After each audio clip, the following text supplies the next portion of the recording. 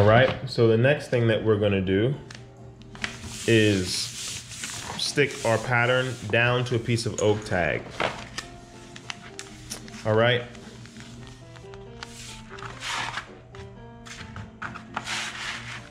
And you don't need to stick this in the middle of your paper. You just need somewhere that you can make sure that you get the whole thing on. So I'm gonna go ahead and stick this down. Now I'm just laying this down here. I'm not forcing it down at this point. I'm just laying it down onto the paper, right? What you wanna do is get your two fingers here in the middle and almost like making a straight line. This is like your first point of contact, right? And now I've only stuck down across this line with that motion. And then you're gonna want to smooth this down. You can use uh, something flat. Sometimes I can use the the, ed, the the back of my knife here to start to just smooth this down or credit card, debit card or something like that. Now you're gonna notice you're gonna get some small wrinkles in here. That's normal. There are some areas where you're gonna get wrinkles because this doesn't want to lay down flat, okay? But I'm just taking my time and smoothing this out.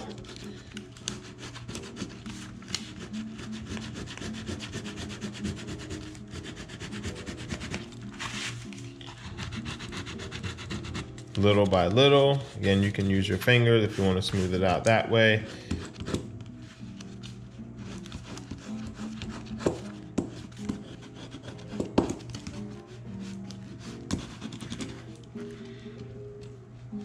Okay.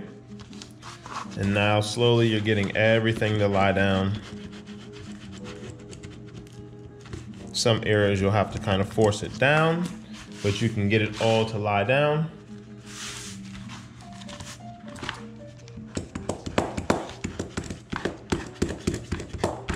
Nice and flat.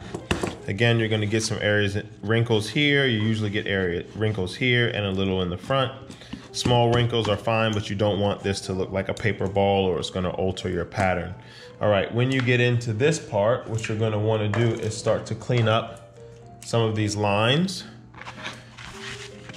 You wanna keep the integrity of this, but there are things like this, if you want to clean this off, kind of just straighten this up. You can do that. And little areas like here,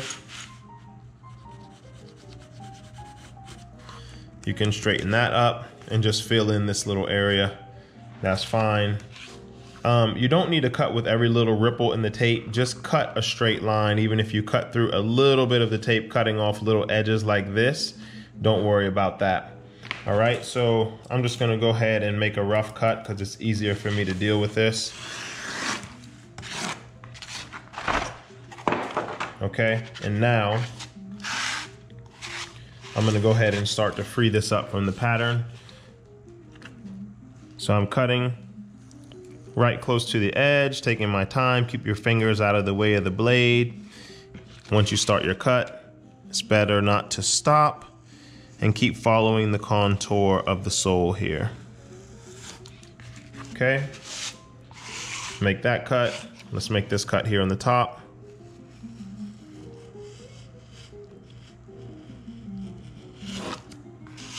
And let's make this cut here on the instep. Staying very close, you wanna cut right on the edge of the tape. And usually around the toe, it drops down here. You wanna keep that in the pattern for now. And also in the back, right on the edge of the tape, take your time and make that cut.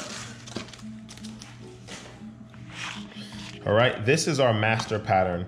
Um, now we are officially back to 2D. So we went from a 2D sketch to a 3D form, drew it on, and now we're back to 2D.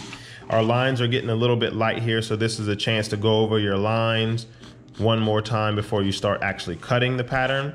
You don't want in the back here your pattern to come up too sharp like this because it's going to make a V whenever you mirror your pattern. So you want your line in the back to come across more on a straight plane than you do for it to be coming sharp up in the back. So darken up a few lines here. Get it the way that you want it to be. All right, and from there, this is our master pattern.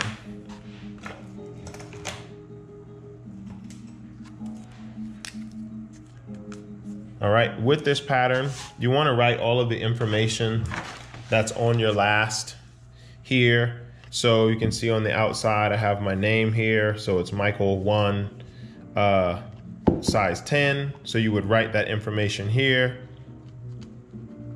just in case your patterns get mixed up. Okay, then you'll know what this came from and then you can match it back to that. If I look on the inside of the last also, there are some, there's like a serial number here, or this is actually the date and when this was made. So, see.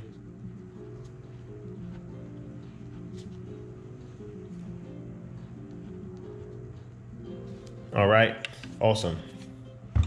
So you have some information here. So if your patterns get mixed up, you can come back to it.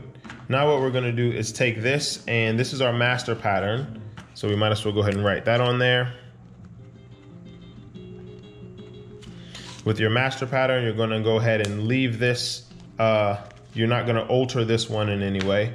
All right, so now what we wanna do is go ahead and start cutting through this line uh, the easiest way to do that so we can transfer is it transfer that line is by using an awl. So you want to get your awl and here and right on the edge of the pattern about two millimeters in go ahead and make a little hole there. It's a point to indicate that you need to stop and don't ever cut through that line because you'll weaken the pattern. Same thing here. Let's make a little hole here that's indicating our stopping point all right, and from here, we're gonna go ahead and start making our cuts. And we're gonna cut little dash lines and we're gonna lift up our blade and move down. I'm gonna try to get a little bit closer for this so you can see better. Um, and we're gonna cut a little dash line here. And if I was to measure this, let me give you an approximate measurement for this. It does not have to be exact, but each of these is roughly a centimeter long, these cuts that we're gonna make. And then you lift it up, you move a little bit down, and you make another cut. And you lift it up, and you move down a bit more, lift it up, move down a little bit more. And you'll see the point in this in a minute. This is gonna allow us to transfer this line to a new sheet of paper, a new piece of oak tag.